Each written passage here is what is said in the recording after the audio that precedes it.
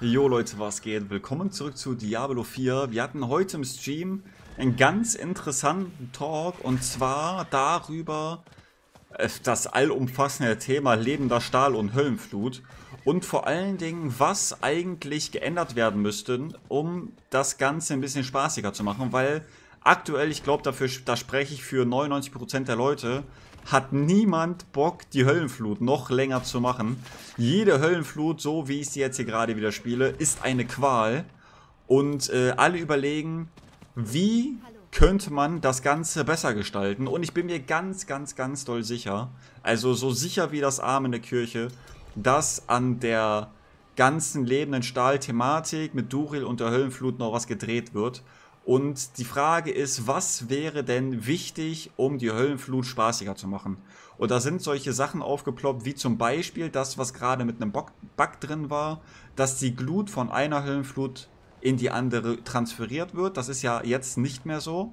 Wir hatten bis äh, gestern einen Bug, dass die Höllenflut Glut von einer Höllenflut in die nächste übertragen wurde. Das war eigentlich eine ganz coole Sache. War leider kein Feature, sondern ein Bug. Das wäre zum Beispiel eine Idee, wie man machen könnte, dass die Höllenflut zumindest mal ein bisschen erträglicher wird. Nicht viel, aber wenigstens ein bisschen. Dass man sagen kann, ey, diese Höllenflut heute starte ich richtig durch oder ich habe noch 10 Minuten in der Höllenflut, habe alle lebenden Stahltruhen aber geöffnet, aber ich suche mir trotzdem schon mal noch ein bisschen Glut, dass ich in der nächsten Höllenflut vielleicht direkt die erste Kiste aufmachen kann, ohne erstmal zu farmen. Das wäre eine coole Idee. Noch eine coole Idee wäre, dass lebender Stahl nicht nur in der Höllenflut fällt. Das kann ich mir von allen Ideen am, am wenigsten vorstellen. Ich denke mal, es wird bleiben mit der Gliederung. Ähm, exquisites Blut, Weltboss Legion, ähm, lebender Stahl, Höllenflut und Eier bzw. die Warschan Bodyparts durch den flüsternden Baum. Ich denke, diese Aufsplittung wird erstmal bleiben aber die lebenden Stahltruhen müssten eigentlich meiner Meinung nach stark günstiger gemacht werden oder der Inhalt müsste geändert werden. Also entweder müsste grundsätzlich 5 Stahl rauskommen, das kann ja zu einem geringen Prozentsatz äh, passieren, dass ihr anstatt 3 Stahl 5 Stahl bekommt. Das wäre auf jeden Fall eine Idee, dass grundsätzlich 5 Stahl rausbekommt. Das wäre dann eine Truhe, einmal Gregor herausfordern, gleich eine Scherbe. Würde bedeuten, wenn ihr in der Höllenflut gut vorankommt, könnt ihr vier bis sechs Truhen aufmachen, wäre dann vier bis sechs Scherben. Das hört sich sehr viel besser an als zwei bis drei Scherben in meinen Ohren. Ähm, ansonsten, was quasi das gleiche wäre, wenn mehr Glut fallen würde. Ich finde es ganz komisch, dass ganz oft viele Gegner gar keine Glut fallen lassen. Besser wäre natürlich, wenn jeder Gegner einfach per se eine Glut fallen lassen würde. Das würde das Problem auch lösen. Dann könnte die Tour von mir aus auch 300 kosten. Dann würde viel mehr Glut fallen gelassen und man könnte viel schneller diese Truhen öffnen. Außerdem finde ich es ganz, ganz bedenklich, dass die Truhen nicht auf der Karte angezeigt werden. Das ist ein Thema, da wird am wenigsten drüber geredet. Aber wenn ich so an den ein oder anderen Zuschauer oder den ein oder anderen von euch denke, der vielleicht nicht weiß, dass es eine Third-Party-Seite gibt mit den Truhen. Ich lese immer wieder, ey, ich hatte 300 Glut, habe die Truhe aber nicht gefunden und die Glut ist jetzt weg. Das ist, das tut mir im Herzen weh. Also, dass die Truhen nicht angezeigt werden, das war vielleicht damals mit den 175er bzw. 250er Truhen ganz witzig oder ein ganz cooles Gimmick. Aber die lebenden Stahltruhen, meiner Meinung nach, müssten die unbedingt auf der Karte angezeigt werden. Jetzt bin ich hier gerade in der Legion. Eine andere Idee war zum Beispiel, dass es immer grundsätzlich in der ähm, Höllenflut eine Legion gibt. Noch eine Idee war, dass die Höllenflut ähnlich wie die Bluternte einfach ständig ist. Das heißt, immer den Standort wechselt und immer ähm, ihr jederzeit die Höllenflut machen könnt, weil aktuell ist ja so, die Höllenflut kommt, glaube ich, alle anderthalb Stunden. Das bedeutet natürlich auch, ihr habt immer wieder Zeit dazwischen, wo ihr keinen lebenden Stahl farmen könnt.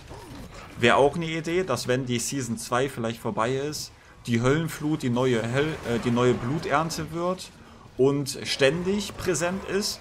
Das fände ich tatsächlich eine ganz coole Idee. Würde auch bedeuten, dass die Glut immer übernommen wird. Genauso wie es jetzt gerade mit dem Blut ist in der äh, Bluternte. Würde ich äh, tatsächlich am besten von allem finden. Noch eine Idee war, dass eventuell Duriel eine Scherbe kostet anstatt zwei. Ich glaube, das ist am unwahrscheinlichsten von allen Ideen. Ich finde auch den Preis von zwei Scherben, zwei Eiern eigentlich sehr, sehr gut. Bedeutet, dass man es nicht äh, einfach so machen kann, mal eben, sondern man muss schon auch ex explizit nach den Eiern und den Scherben suchen. Finde ich eigentlich ganz gut mit dem Preis von 2 und 2. Eine coole Idee fand ich heute von Heng, erinnere ich mich noch ganz genau im Chat, er hat uns ein bisschen gebaitet. Er hat so gesagt, im nächsten Update sollen die Uber-Unix nicht mehr für die Leute im Multiplayer fallen, sondern nur noch für denjenigen, denjenigen der zündet. Und derjenige, der zündet, erhöht sich die Chance, dass ein Uber-Unix fällt, auf 5% anstatt 2%. Also wir gehen aktuell von 2% aus.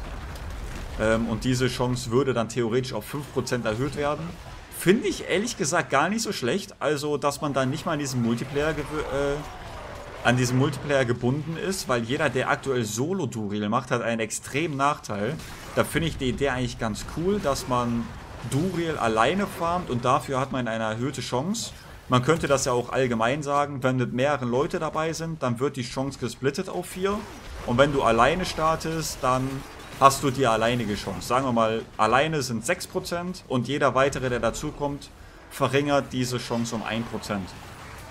Äh, Fände ich tatsächlich ganz cool, um ehrlich zu sein. Ich weiß, dass viele fast nur Solo spielen, vielleicht keinen Clan haben. Leute, ich mache keine Werbung mehr für unseren Clan, weil der ist irgendwie dauervoll. Ich versuche den wieder leer zu kriegen, aber äh, kann da nichts versprechen. Aber ich mache Werbung für unseren Discord. Wenn ihr noch Leute zum Zocken sucht oder die Duriel Ones machen wollt, kommt in den Discord, der ist unten verlinkt. Äh, Fände ich auf jeden Fall eine coole Idee, wenn Solo Duriel Runs da ein wenig mehr ähm, geboostet werden würden über diese Chance, die über Unix äh, Drop-Chance ein bisschen zu erhöhen. Das waren somit eigentlich alle Ideen, die wir so im Stream gesammelt hatten.